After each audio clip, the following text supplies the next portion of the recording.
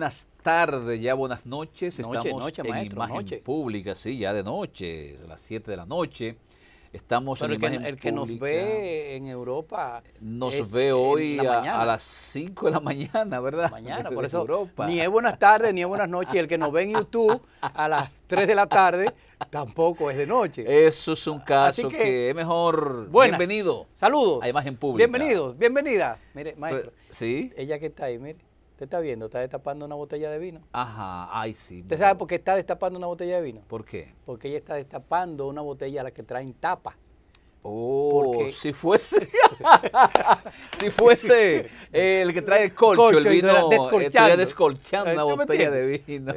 Bienvenidos bueno. bienvenidas. Hoy tenemos, ¿eh? profesor, un, un plato muy fuerte. Hoy tenemos Sí. eh, a don Melanio Paredes, nuestro invitado especial. Wow, Belanio, una, una historia interesante, política. Sí. eh, fue funcionario de los gobiernos del Fue doctor seis veces Leonel Fernández. funcionario, Melanio Paredes, en los gobiernos de- de Diputado, Leonel Fernández. diputado, Diputado también jovencito, 90 con fue 20 que- años, Sí, ya era 20 y diputado. de años, sí, ya fue diputado del año Él es nuestro invitado, una marca política, Sí. una marca personal. Con él vamos a navegar por su historia desde la infancia ¿Sabes qué me gusta a hasta la parte ¿Sabes final qué me gusta a mí de este programa final no, porque no ha terminado su vida, ¿verdad? No, no, ese hombre está muy, ese hombre está muy, muy entero. Entero. ¿Sabes qué me gusta a mí del programa de hoy? Que se parece mucho a la ideología del programa Imagen Pública. Porque hoy vamos a permitir que este hombre se explaye Le vamos a entregar el programa completo. y hable de, de- de su vida. El programa Sí, completo. para que la gente conozca qué hay, Ah, cómo es la historia, cómo es la Está historia. pegado Melanio con usted. ¿Cómo es la historia? Regularmente que- usted le da 20 minutos al que viene. Usted le va el programa Sí, completo a vamos a Melanio. darle Pérez? a Melanio Paredes para que hable, para que, pa- para que narre su historia. Y eso, es importante que la gente que no pueden decir que eso es porque Melanio es el ministro de Educación, porque ya lo fue. Así que no Melanio- estamos buscando Melanio- comerciales Melanio ni nada de fue eso. todo lo que fue. Hoy es un ciudadano común y corriente, como usted y yo. Eh, No, no, miembro del comité no, político. perdón, del perdón, perdón, perdón. El común será usted y yo el corriente. Pues no puedo decir que yo soy una persona común. Ahora corriente sí, porque doy Profesor, vida, doy luz. refiero a común es que somos todos hijos de Adán. Ahora sí. Entonces somos todos como. Pues adelante con el programa de hoy. Bienvenidos y bienvenidas a Imagen Pública Televisión.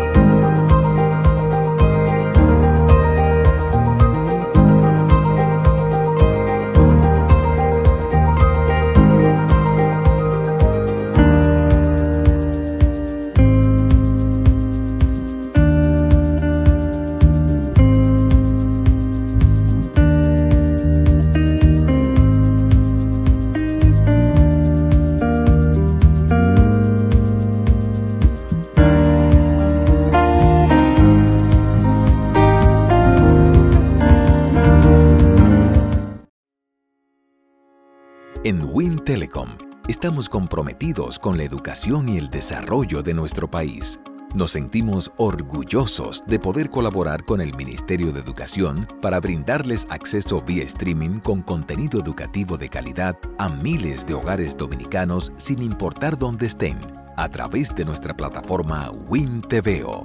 Gracias a esta iniciativa, estudiantes y docentes podrán contar con las siguientes facilidades. Transmisión de contenido educativo vía de streaming en los canales desde el 100 al 112 de nuestra parrilla. 13 canales que retransmitirán las clases durante todo el día para que los estudiantes puedan verla en el horario más conveniente. Descarga WinTVO totalmente gratis en la tienda virtual de tu dispositivo favorito a través de Google Play, Amazon, Huawei y Apple. Disfruta y aprende en línea con el Ministerio de Educación y Win Telecom.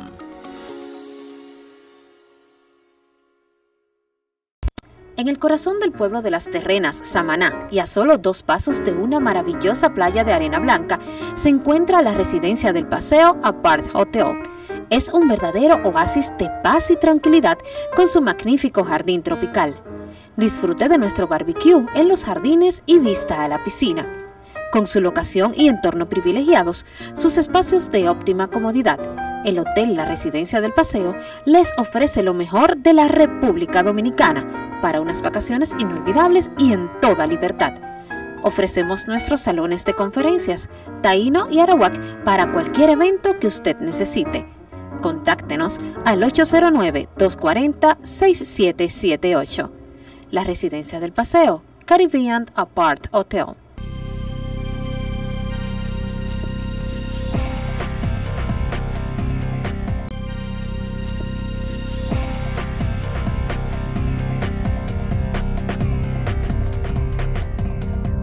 Bienvenidos a este segmento Personal Branding. Una marca personal también es una marca política. Una persona que por su haber y por su hacer construyen un legado. Dejan huellas en todo, toda su historia. Personas que de alguna forma no siempre están de acuerdo con él, pero incluso los que no están de acuerdo también, en algún momento lo mencionan, lo recuerdan y hasta lo citan. Esa es una marca personal. Y una de ellas, hoy tenemos el placer, el privilegio de tener a Melanio Paredes. Hermano, bienvenido. Saludos y gracias por la invitación. Bienvenido. Para nosotros un placer. Siempre en este segmento tratamos de que la gente conozca esa marca política o marca personal desde dentro. Muchas veces conocemos lo que las relaciones públicas del, de la marca nos permite pero a veces la gente no sabe cómo es esa persona desde su infancia, en su círculo de amigos, en sus escuelas, eh, en esa crianza materna. Y de esas cosas vamos a hablar hasta llevarte a la universidad, hasta llevarte al comité político donde hoy estás. Hay muchas cosas que contar. Fue director del, del Infotep, cuando también fue ministro de, Hay muchas cosas. El hombre tiene una historia que necesitaríamos dos programas. Eh, Desde ahí vamos a, tratar de llevar a conocer a Melanio Pared, Paredes eh, para que el pueblo también conozca desde adentro, ¿verdad? ¿Quién es y de, dónde viene? Porque a veces nos enfocamos en lo que vemos en el instante pero olvidamos que hay una historia detrás. Así es. ¿Dónde nace? Que se construyó esa historia. ¿Dónde nace Melanio Paredes? Así es, y, esta retrospectiva también te permite un poco autoevaluarte y, ubicarte en el presente. Por supuesto. Eh, sobre todo porque el porvenir es incierto, ¿no? Así es.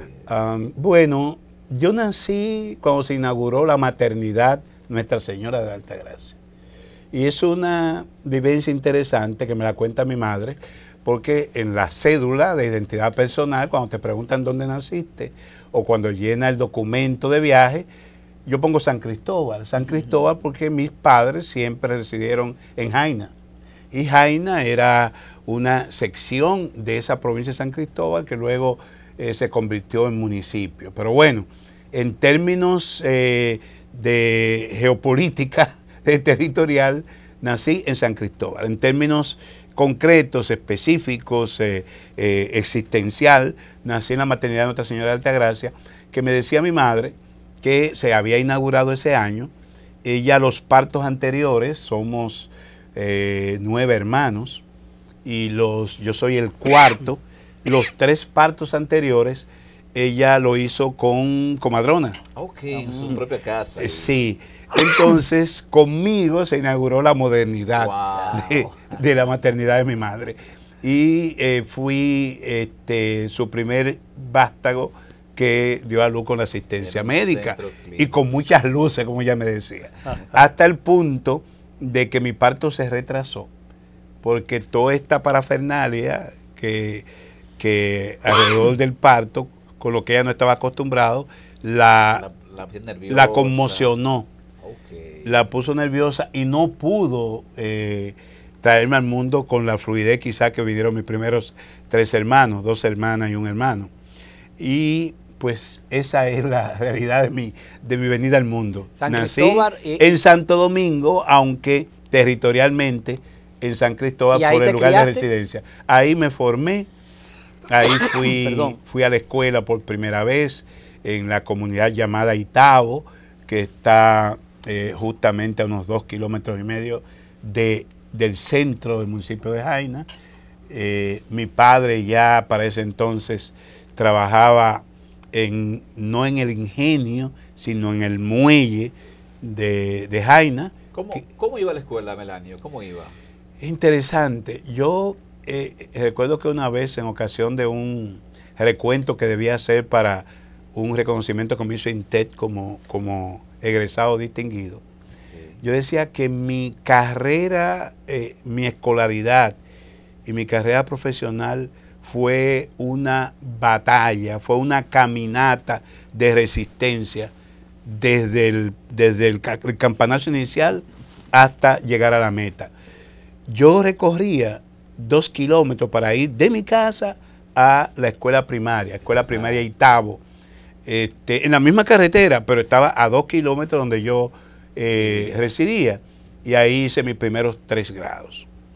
Cuando paso al cuarto grado, porque esa escuela era una, una escuela primaria que llegaba hasta tercer, grado. Cuando pasé a cuarto grado, ya tenía que ir desde Itabo, estamos diciendo, eh, al lado de la refinería, todavía viven mis hermanos, y el centro de Jaina, lo que llaman, donde tuvieron los, las tropas norteamericanas en la invasión, que ahí se construyó un hospital y un... Entonces la escuela Fray Sebastián Ramírez de Fuenleal, una escuela primaria eh, que llegaba hasta octavo grado, estaba en medio de ese centro de construcciones que venían desde la tropa de ocupación norteamericana. Entonces yo recorría, eh, ¿qué te puedo decir?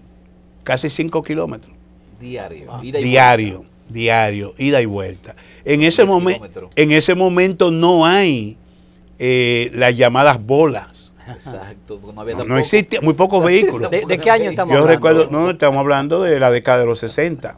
O sea, yo nací a principios de los 50. Entonces, la década de los 60, eh, y, o sea, yo ingresé en primer grado eh, a principio de, ese año. Entonces tuve que hacer esos ocho grados. ¿Y el Los primeros tres viajando a... Dos kilómetros y medio. dos kilómetros, y luego viajando estos, estos kilómetros hasta el centro de Jaina. Bueno, paso de séptimo a octavo grado. El octavo grado no existía en la escuela, llegaba hasta séptimo y se creó. Y entonces por una lucha del movimiento estudiantil, de los trabajadores, se creó el octavo grado de la Escuela Fray Sebastián Ramírez Fuenleal y funcionaba en un local del sindicato de ferrocarrileros de Jaina. Ahí yo hice el octavo grado, recuerdo que tenía un profesor que luego me lo encontré en la universidad, un profesor muy destacado, sociólogo, Pablo María Hernández, que fue quien, nos, nos, nos dirigió el octavo grado. Era un profesor único prácticamente. Y yo recuerdo que en ese entonces comenzaron mis inclinaciones políticas en ese grado, porque fue cuando aquella batalla de Israel y los árabes, en el año 67. De aquí vinieron muchos judíos. Sí, y, pero al mismo tiempo el grupo era un grupo muy interesante eh, por ahí andan todos, la mayoría se hicieron profesionales. Y entonces eso generó un debate entre, entre un grupo que estaba a favor de Israel y otro grupo que estaba a favor de la causa árabe. Ya estás hablando de política internacional. Sí, sí, sí, con octavo grado. Entonces, por eso te digo que es interesante. Y para mí ahí comenzó mi inclinación por las actividades políticas y en el sentido general por los problemas sociales político y económico de la sociedad. Es importante eso que dice Melanio, porque aquí eh, se refugiaron muchos judíos. Sí. Para ese entonces, que venían aquí hasta el muelle de Jaina. Y de ahí creo que fueron llevados a Constanza. y ¿El bachillerato dónde, dónde lo desarrollas? Bueno, Jaina no tiene entonces liceo secundario. Es, increíble, porque cada etapa en mi, en mi, en mi escolaridad más lejos. Fue, no, que fue generando o tenía que desplazarme de mi lugar de residencia o tenía que de alguna manera trabajar para que se crearan oportunidades educativas porque no habían. Eh, fíjate el caso de esa escuela que se creó el octavo grado por nuestra lucha, pero hasta ahí llegó. Existía en Jaina en ese momento el Colegio Episcopal, el Colegio Episcopal San Marcos, eh, que estaba en la avenida Río Jaina y era básicamente eh, una institución que ofertaba la educación a los, como llamamos entonces, a los riquitos de Jaime. La gente que trabajaba en ingenio. exacto. Y naturalmente los que veníamos de hogares humildes, como el caso mío, no, podíamos ni, no, podíamos ni, pensar, como lo conocen ahora. no podíamos ni pensar en, en ingresar En el colegio. al Colegio San Marcos. Entonces, eh, se abrió la posibilidad, y recuerdo que, y en esto le debo, tengo una deuda histórica con mi madrina, este, Inés Díaz, que era una mujer de, de- de- de algunos recursos. Su esposo era comerciante, sí.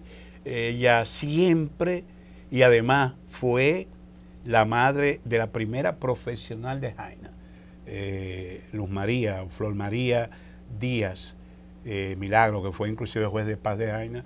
Y esa, esa carrera de Milagro que me llevaba unos años, eh, de- en alguna forma pautó también mi, mi derrotero eh, educativo O sea, para usted ser bachiller tuvo que venir de Jaina hasta aquí. a la capital. Entonces, eh, mi madrina me decía, tú tienes que seguir estudiando, no te detengas. Cuando salí del pueblecito de Itao para ir a Jaina, ella fue la que me incentivó y me compró los libros. Wow.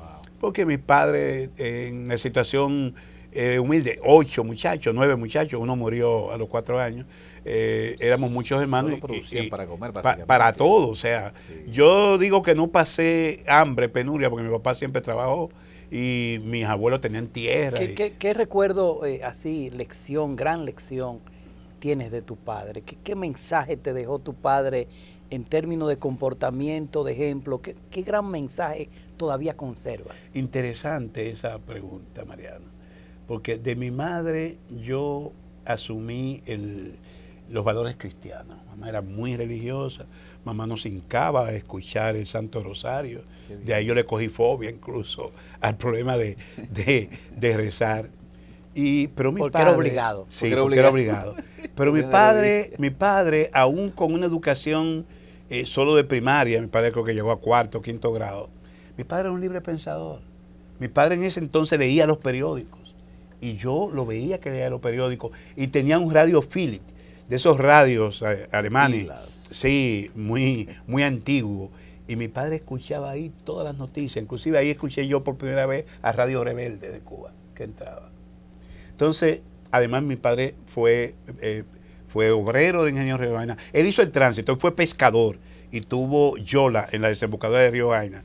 Y de cuando se inauguró el Ingenio Río Jaina, por allá por el año 1951, mi padre pasó de ser pescador a obrero.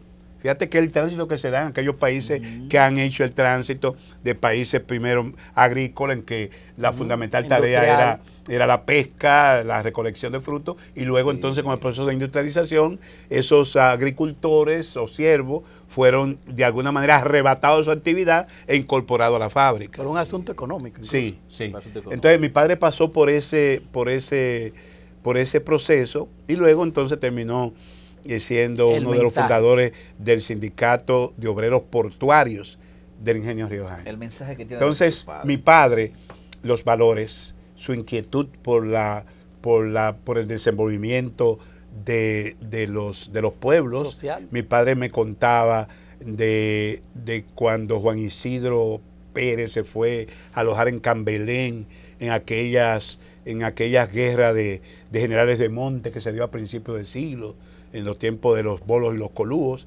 Entonces, él nos contaba esas historias y, y era un hombre muy enterado, muy enterado de la situación eh, social, económica y política del país. Y de ahí yo tomé esos valores. Y de mi madre, los valores cristianos, la solidaridad, el trabajo comunitario, eh, porque justamente fue lo que yo vi en ellos.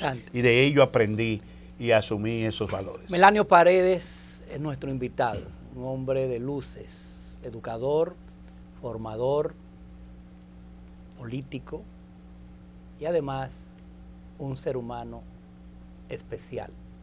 Mi compañero William Medrano y un servidor Mariano Abreu volverán tras esta pausa comercial. Por favor, permanezca con nosotros.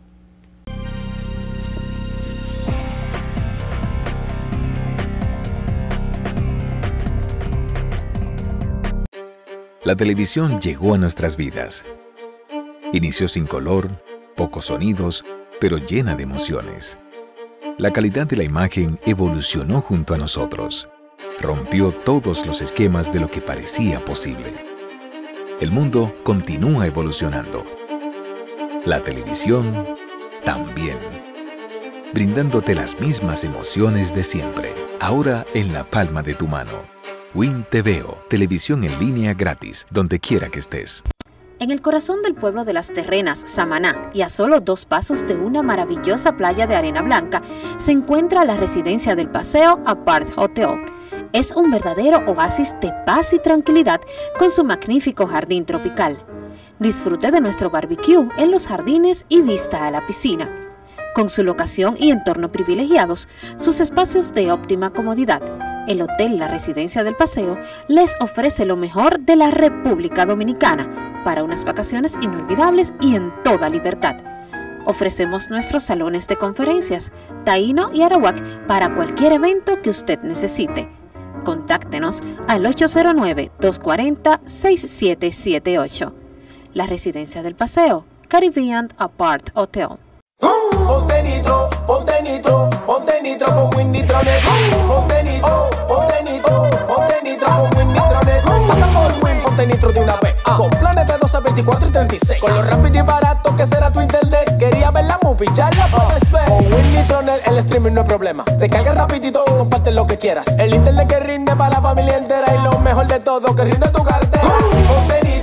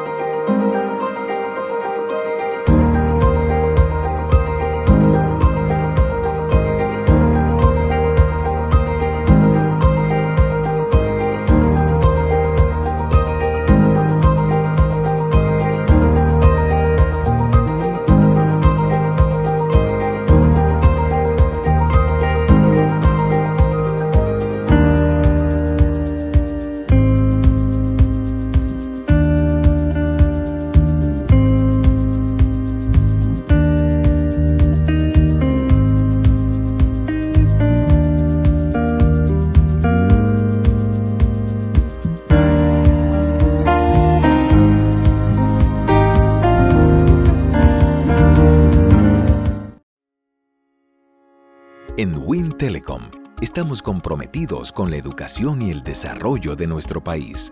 Nos sentimos orgullosos de poder colaborar con el Ministerio de Educación para brindarles acceso vía streaming con contenido educativo de calidad a miles de hogares dominicanos sin importar dónde estén, a través de nuestra plataforma WinTVO. Gracias a esta iniciativa, estudiantes y docentes podrán contar con las siguientes facilidades. Transmisión de contenido educativo vía de streaming en los canales desde el 100 al 112 de nuestra parrilla. 13 canales que retransmitirán las clases durante todo el día para que los estudiantes puedan verla en el horario más conveniente. Descarga WinTVO totalmente gratis en la tienda virtual de tu dispositivo favorito a través de Google Play, Amazon, Huawei y Apple. Disfruta y aprende en línea con el Ministerio de Educación y Win Telecom.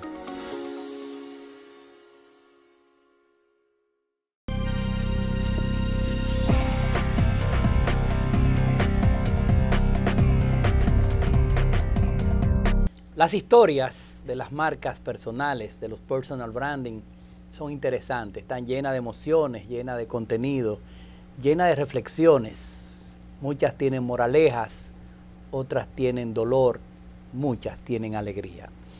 Nuestro personal branding de hoy es Melanio Paredes, una marca política, una marca social, una marca profesional.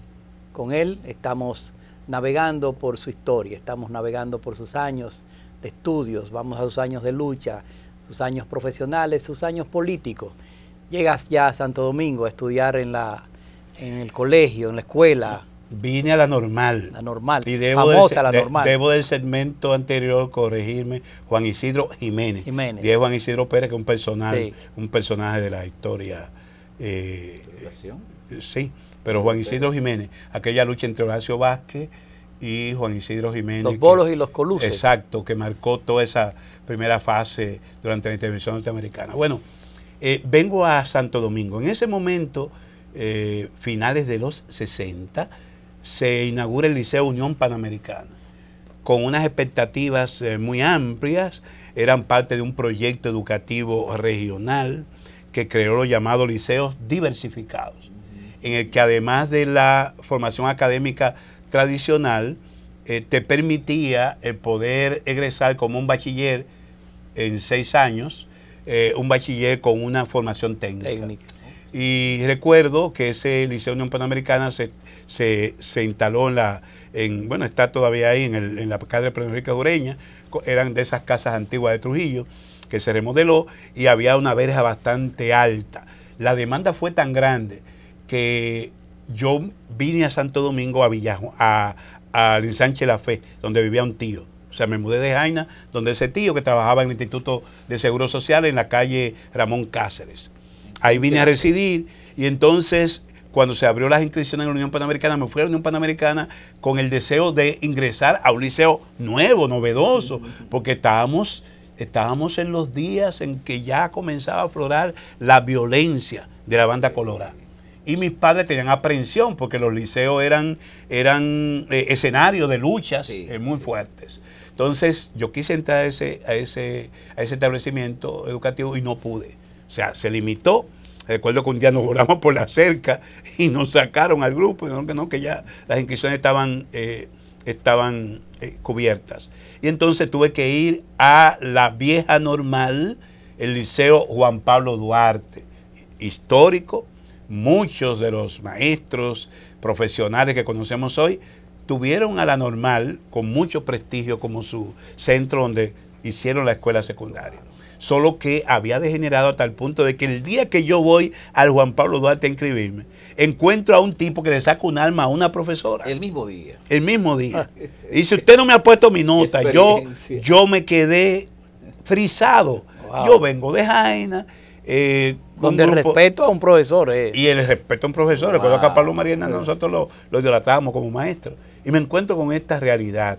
Y comienzo a oír las historias de Tony el Pelú y Américo el Loco, que eran las figuras eh, que eh, los patomachos de del, del liceo. Bueno, yo me dije, Dios mío, me confesé, porque no tenía otra, ot- otra opción. Ahora, para yo ir a la normal tenía que atravesar desde la calle 31 en el ensanche de la Fe, cruzando la Máximo Gómez hasta la Duarte. Wow. ¿Cuántos Recorrido. kilómetros? gran tramo. Cualquier recorrido. cantidad de kilómetros. Yo atravesaba Villajuana completo, Villa Consuelo, para caer en el Liceo Juan Pablo Duarte. De manera que aquella caminata de resistencia que yo le dije, que comenzó en la escuelita rural de Itabo, Exacto. continuó también aquí aquí, en la en la capital. normal. Melanio, ¿qué, qué recuerda de esos momentos, eh, situaciones más críticas en esos años de estudio ya del bachillerato? Yo, hay, un, hay una escena que jamás se me olvidó. Eh, en esos años, años 70, y, 70 71, eh, en luchas intestinas que se daban en la- en- y con la policía, en la escuela Colombia mataron a un joven. Recuerdo el nombre, Milano, no recuerdo el apellido, pues, fue, porque yo lo recordaba por mi nombre, era muy parecido, y alguna gente inclusive me preguntó. Y entonces, del Liceo Juan Pablo Duarte, en solidaridad con la muerte de ese joven, eh, que pasó por la Duarte para caer en el, lice- en el cementerio de Máximo Gómez, yéndose por lo que era Marcos Ruiz, o la 20, la calle 20, del liceo salimos a acompañar el desfile, un desfile grandísimo de la Escuela Colombia, alumnos, maestros, que iban a enterrar a ese, a ese eh, joven muerto y que se le achacaba a la represión del gobierno del doctor Balaguer. Entonces, colorada. correcto, y la banda colorada. Entonces nosotros en solidaridad nos, nos metimos. Yo recuerdo que yo iba distante de la cabeza en que iba el féretro. Y cuando estamos llegando al, al cementerio, llegando a la calle Moca, oímos unos disparos de, fulis- de fusiles Mauser. Pa, pa, pa. Cuando yo oigo eso, miro para atrás y veo que está todo el mundo En el piso. en el piso. Y cuando miro para adelante, solo alcanzo a ver el féretro. Solo. Solo en juidero. medio de la calle. El juidero. Esa imagen a mí jamás se me ha olvidado. Tremendo. Ay, ay, Jamás ay. se me Dejaron el féretro. Sí. Entonces cuando yo veo que todo el mundo sale, salir por una, por una, un callejón y, señores, lo que da y tú que manejas todo el tema de la psicología, cuando, cuando uno tiene la, cuando uno tiene la, la- la- cuando está impactado, La adrenalina. la adrenalina alta. Yo volé una No, verja. no, lo, que, Wow, lo que ¿eh? lo que se te imponga. Yo volé una verja Cuando volé del otro lado, era una panadería. La, las guardias, más que la, la policía, la guardia estaba sacando los, los muchachos de las casas y metiéndolos en la perrera. Y entonces unos jóvenes de la panadería me dicen, quítate esa camisa, la camisa de caqui del liceo, y me dieron una franela y me untaron harina en la cara y todo, Ay, Dios, para salvarte. Oye. para protegerme. Sí, salvarte, porque Y era- era llegaron salvarte en dos, ese momento. llegaron dos militares, hicieron así, vieron, eh, chequearon y nos vieron como que estábamos Que eh, trabajando. pan y se fueron. A- como a las dos horas me dije, ya te puedes ir, me puse mi camisa, Qué tremendo. cru- crucé por ahí, ya ahí me quedaba más cerca mi casa, que era en la Ramón Cáceres, y me dijeron, deja los libros, deja todo aquí, vete caminando. ¿Cuándo llega el amor? Y para terminar el cuento, cuando yo volví el otro día a buscar los libros, y yo vi la verja, Sí, tú no que lo yo crees. había... Tú no lo creías. Yo, yo no me lo creía.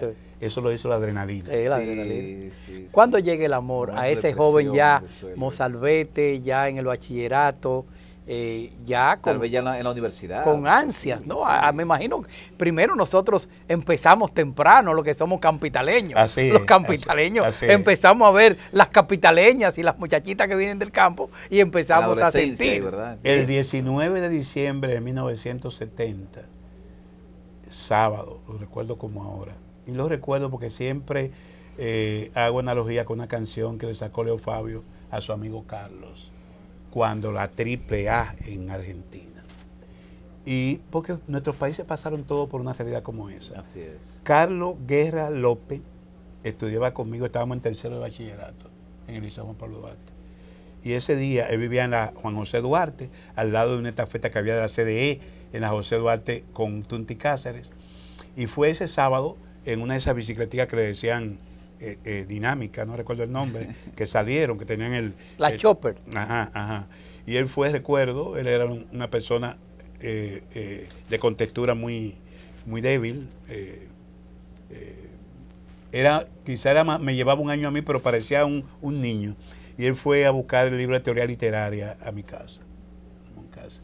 Y saliendo de mi casa, justamente en la Ramón Cáceres con calle Paraguay, yo oigo unos disparos. Bueno, no, no pensé que podía estar relacionado con él. Entonces, eh, oigo una sirena y, me, y, y viene un joven de al frente y me dice, Melanio, Melanio, tu amigo Carlos lo mataron. Eso. Wow. Frente a mí vivían Rómulo y Remo, dos corredores de campo y pista que eran del Pacoredo. Carlos Guerra López era, y después yo vine a enterarme, era el jefe del FEFLAS en toda la zona norte. Así. Era mi amigo, Así calladito. Yo iba a su casa y lo veía, y veía que entraban y salían eh, jóvenes, pero nunca supe que él tenía esa categoría. Era mi compañero de estudio, eh, yo respetaba sus actividades políticas, él a veces que me llevaba eh, eh, material y yo lo leía, pero murió, los levantaron de ahí, recuerdo que hubo una, una unidad móvil de Radio 1000 que se fue de- de la ambulancia y yo cogí la, la bicicleta y me fui hasta el Gautier. Cuando llegué al Gautier estaba sin vida, prácticamente murió en el momento. Y acusaron a esos dos eh, militantes del Pacoredo de haberlo eh, asesinado como parte de toda la lucha eh, que se dio en ese entonces y las acciones de la banda colorada. ¿Qué tiene Bueno, que- ¿qué pasó qué con tiene eso? que ver eso ¿Qué con tiene el que ver amor? con eso? Que vuelvo a Jaina. Te tuviste que Me devuelven a Jaina porque decían que yo estaba en el listado. Ay, ay, que había un haber- listado. Sin haber terminado el bachillerato, vuelve a No, tercer, tercer, tercer año. de bachillerato. Usted dijo 19 de diciembre, estábamos en vacaciones de Navidad. Sí. Yo debí Vuelve Jaina terminar. yo no pude terminar en la normal y vuelvo a Jaina. Porque Me ya- mandan pa' porque Jaina. decían que ya usted estaba en el listado entonces. Eh, decían que yo estaba en el La listado. banda colorada estaba buscando. Porque yo me, me veían con él y pensaban que yo también era Ah. dirigente. Y entonces mi, mi tío se metió en a, a terror. propósito, saludo a, a Macorís. Bye bye, Per Martínez. mi, mi, mi tío se, se aterrorizó y me devolvió a Se Jaina. devolvió a Jaina. Esas fueron las navidades más, más tristes que yo pasé. La pérdida de un amigo, la interrupción de mis estudios y volver sin proponérmelo al lugar donde nací, pero media, yo estaba fuera de contexto, tenía tres años fuera. Y entonces allí siempre la hada madrina eh, me dio la mano y me buscó el dinero para inscribirme en el, en el colegio Episcopal San Para continuar. Al para que volver. yo no había ingresado en primer, eh, en primer bachillerato porque no tenía los recursos. Porque no era de la pobre. Pues madrina me, me- me Hizo la gestión. me hizo la gestión. me pagó. Y el colegio en que después yo vine a trabajar como profesor 10 años, colegio Pico. Ahí me, ahí me inauguré como profesor. Pero bueno, ¿qué pasó? Que volver a Jaina, había, me puse a hacer actividades culturales y, eh, fundé el club, le llamaba Sociedad eh, eh, Deportiva y Cultural Siglo XXI. 16 de agosto del 72. Fíjense la visión ya. Sociedad Deportiva y Cultural Siglo, XXI. Todavía está ahí. En ese club, que se convirtió en un club de voleibol, se, se inscribió y se desarrolló Brenda Sánchez, la libero internacional de la que, que, Gloria Nacional del equipo de, las Reinas del Caribe. Ya yo no, eh, la persona que yo dejé allí, Valentín Pérez, que precisamente murió hace un par de años, eh, la entrenó en sus primeros años. Fíjate cómo uno siembra y uno no sabe hasta dónde genera oportunidades de vida, de, proyectos de vida, de crecimiento a muchas personas. Bueno, eh, yo entonces dirigía un club dirigía ese club. El club tenía un equipo de voleibol, había una muchacha muy dinámica y había una hermana de la, líder del equipo de voleibol que viajaba de acá de Villajuana a Jaina en sus vacaciones. Y entonces la hermanita, que me quería mucho en el equipo, comenzó a puentear esa relación. Ah, y así llegó, ya yo había tenido algunas noviecitas y eso, pero nada en serio. así conocí a Rosa, que es mi actual esposa después de 43 años de matrimonio. Wow, Sí, porque esa es otra fase de Melanio Paredes, eh, que es un gran padre, es un padre ejemplar, tiene unos hijos, yo conozco uno de ellos, que son jóvenes eh, que inspiran también en la sociedad y en la política también. Es lo, es lo que nos deja, yo pienso que es el legado lo que tú heredaste de tus padres y que, lo que tú le dejas a tus hijos. No hay, no hay nada que hable mejor de un ser humano que esa herencia. Así es. ¿Cómo, llegas entonces a la formación política? Porque hasta este momento saliste prácticamente huyendo de ese proceso político. De ese proceso político. Bueno, este, me graduó de bachiller en el Colegio San Marcos, que también tenía que recorrer esa distancia, porque yo seguí viviendo, eh, o mis padres vivían en, en, en Itabo lo que por donde está la refinería dominicana de petróleo, el kilómetro 18 específicamente. Luego le cambiaron el nombre por barrio San Jerónimo, por eso se urbanizó.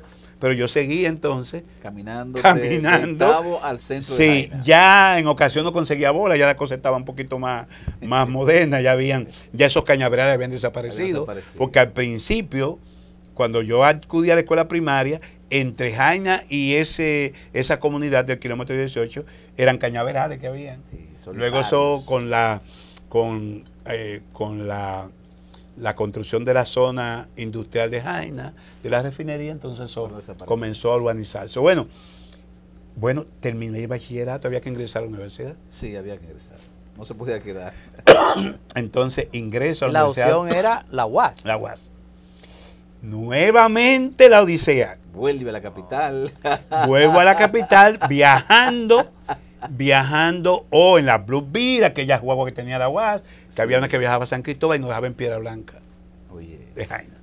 Entonces de ahí, haciendo recorrido, podíamos bajar a Jaina y yo tenía que ir dos o tres kilómetros más allá de Jaina. Y cuando comencé a trabajar, porque después... Una odisea en ese tiempo. Cuando comencé a trabajar en, en, en el Colegio San Marcos, entonces tuve que tomar materias en la noche en la universidad. Y lo grande era cuando tú venías a las 10 de la noche. Sí. Si en un vehículo tú tenías que caminar varios kilómetros de Piedra Blanca hasta donde yo vivía. ¿Por qué la carrera? Eh, yo me hice el TEX que aplicaba en ese momento en, la, el Q. En el Q. Colegio Universitario. para los jovencitos que no saben. Juan Bosco Guerrero, José Antino de Fiallo, recuerdo, que eran los quienes dirigían el, el Cubo Colegio Universitario, me hice el tema y me salieron tres carreras. Las tres, increíblemente, de alguna forma, la hice. Ingeniería química, licenciatura en física y economía. Me salió en el test eso, ahí estaban las preocupaciones por los temas sociales, económicos, etcétera. Pero estaba también, yo fui muy buen alumno en matemáticas.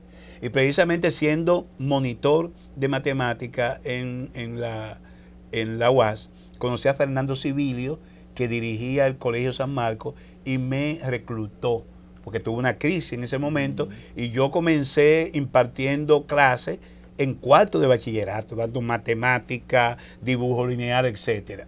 Y en el Liceo Fidel Ferrer, que Rafael González Sánchez también, en el Sánchez La Fe, yo siendo estudiante los primeros años en Juan Pablo Duarte, en ocasiones iba a sustituirlo para álgebra en primer grado. Entonces por ahí comienza un poco la vocación, pero comienzo a estudiar ingeniería química, justamente con Danilo Medina eh, y, otro, eh, y otros eh, preclaros que andan por ahí también. No, cuando comienzo a trabajar, no se ofrecían materia de la carrera de ingeniería química y entonces derivo a física, que fue la segunda carrera que me recomendaron. Terminé física, hice seis semestres de ingeniería química y entonces ya en segunda, en segunda edad, eh, digamos en los 80, cuando nos metimos de lleno en la política y el 82 de Juan Boy y entonces uno veía que se ponía más lejos, con el propio Danilo Medina yo recuerdo que discutí, nosotros hicimos la carrera en la UAS, eh, como decían los muchachos, chepa con laude. O sea, con todos los problemas, caracoles, eh, semestre, de, semestre de dos meses. Y si vamos a seguir en política tenemos que formarnos. Y entonces yo le decía, por yo entiendo que un político necesita armarse de economía política, lo vi usted al principio en el comentario hablar. Y, y me- yo digo, debemos, estu- debemos ver si estudiamos leyes, porque el que está en política debe conocer eh, todo el funcionamiento, el-. La eh, constitución, las eh, leyes. Exacto, del Estado, o economía. Y me dice Danilo, yo creo que es mejor economía, porque recuérdate que al inicio la economía no era más que economía política, Así es. economía aplicada pues, justamente a la conducción de- del Estado. Entonces, nos decidimos estudiar economía y lo hicimos, no juntos, separado, Danilo lo hizo en algún momento, yo lo hice en otro momento, y sí recuerdo que me dijo, no, no convalide, porque yo convalidé y perdí la posibilidad de honores. Yo no convalidé y terminé mandan con laude la carrera de economía. El tiempo, de manera que el ahí... tiempo se, se acabó hace Sí, el rato y nos nosotros no hemos pasado, incluso yo voy a sacrificar mi segmento eh, para terminar una fase contigo, que es la fase política. Sí. De- mi segmento ya está preparado, eh, pero voy a sacrificarlo para esos minutos, aprovecharlo contigo. ¿Cómo ese grupo de muchachos provinciales, muchos de ustedes no eran de la capital, Así. eh, eran muchachos provinciales que venían con deseos, anhelos de, de progresar socialmente, y cuando hablamos de socialmente no hablamos de económicamente. Muchos de nosotros que venimos de los campos no venimos No, con anhelos. la escala social, Venimos o sea, con, el deseo de escalar socialmente. ¿Cómo llega ese, ese momento donde tú dices, es al lado de Juan Bosch? Sencillo, le hablé de la universidad, ¿verdad? Eh, ya comenzaba a relacionarme, veía, veía los grupos, en ese momento eh, dirigentes tan destacados, ya pos Amin Abel, pos Atuay de Can, eran Gustavo Montalvo, que había venido creo que de Santiago, el propio Felucho Jiménez, que habían sido expulsados de, de Ucamaima, eh, Juan López. cabeza caliente. Sí, eh, Fervio Rodríguez. Y entonces eh, vino un jovencito de Villamella que a mí me impactó su discurso, Juan Francisco Santamaría. Juan Francisco Santamaría fue a esas elecciones de la, de la FED, de la Federación. Ellos venían del PRD. Yo no era PRDista, mi padre era PRDista. Entonces, de alguna manera yo decía, bueno, me afilié al... votaba por el FUSH, no llegué a militar en el FUSH. Y entonces en el año 73 se produce la ruptura del Partido eh, Revolucionario Dominicano con la salida de Voz. Y yo escuché aquel discurso entre lo nuevo y lo viejo. Y cómo esa, esa, esa camada de dirigentes del FUS en la UAS derivaron y se fueron al Partido de Liberación Dominicana creando la Vanguardia Estudiantil Dominicana, la BED. Entonces, todo ese discurso me impactó en esos años. Lo compraste. Y cuando se produce prácticamente el asalto a la Casa Nacional, un grupo de alumnos cogieron para la Casa Nacional a tomar, estaba todo el, todo el, el- eh, toda esa épica de, del guerrillerismo, de Camilo Torres, o sea, estaba muy en boga. Entonces decían, vamos a tomar esa cabeza de playa, vamos a tomar la Casa Nacional. Pues yo me incorporé al grupo y por ahí comenzó mi vínculo con el, ya no con el PRD, en donde militó mi padre, sino con el Partido de la Liberación Dominicana Re- Juan Bosch como figura señera. Recién creado. Recién creado. O sea, yo no milité en otro O partido. sea, tú estás en, en- en el PLD desde sus inicios. Desde sus inicios, desde sus inicios. ¿Qué? Noviembre, recuerdo, fue mediados de noviembre del año 73.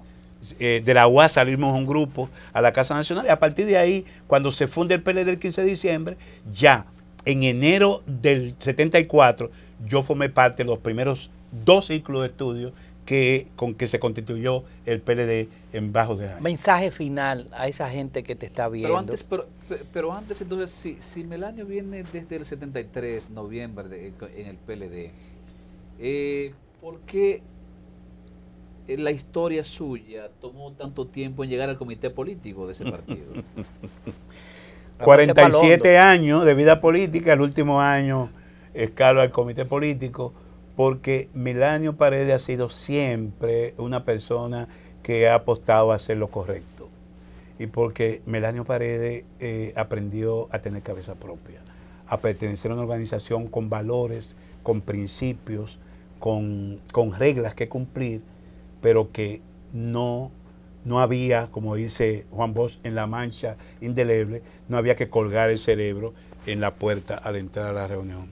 Entonces, el tener cabeza propia, el, el- el- el, digamos, eh, eh, sí, arro- eh, el, el envolverme en esa, en esa mística de voz que decía que siempre había que sustituir el, el yo por el nosotros, que era importante el proyecto colectivo, yo me aferré y sigo aferrado a esa prédica. Ah.